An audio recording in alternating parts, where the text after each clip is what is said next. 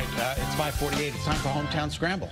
All right, and we have a special new graphic to Yes. reveal. I'm going to explain the rules, and you're going to look at your screen. Whoa. We're scrambling up three cities, towns, villages, or hamlets around our state, and we need you to answer all three correctly. Now, if you've won before, please be sure to let us know. We Yep. love when the alum come back and play. You guys are great.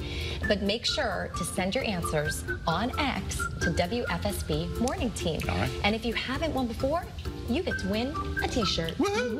Woohoo! All right, are we ready? Yeah, let's Ready. do it. Well, what's today? Uh, Valentine's Day. And that means love is in the air. Nice. Great. Diane Taylor, thank you so much.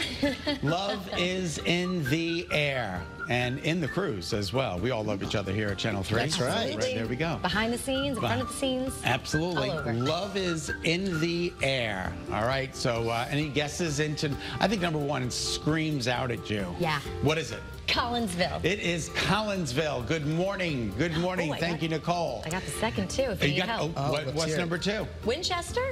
Oh my God, Is it? Nicole! I'm I'm so She's unbelievable. impressed. She's feeling the love. Woo!